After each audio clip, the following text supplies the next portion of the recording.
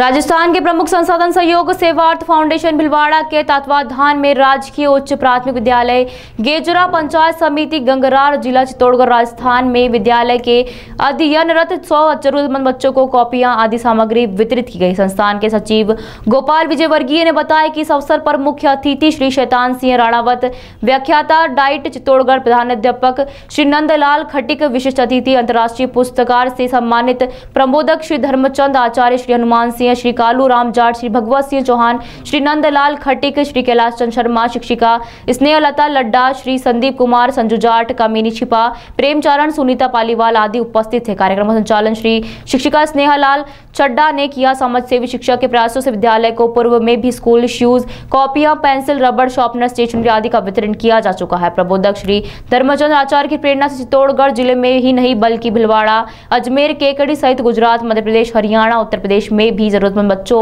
लोगों को आवश्यकता अनुसार सामग्री, वस्त्र, स्कूल बैग, जूते, कॉपियाँ, स्टेशनरी, खिलौने, बैग आदि सामग्री निःशुल्क उपलब्ध कराई जाती है। श्री धर्मचंद आचार वर्तमान में राजकीय उच्च प्राथमिक विद्यालय फलोदी ग्राम पंचायत रघुनाथपुरा पंचायत समिति गंगराज जिला चित्तौड़गढ़ राजस्थान में प्रबोधक लेवल टू के पद पर कार्यरत हैं।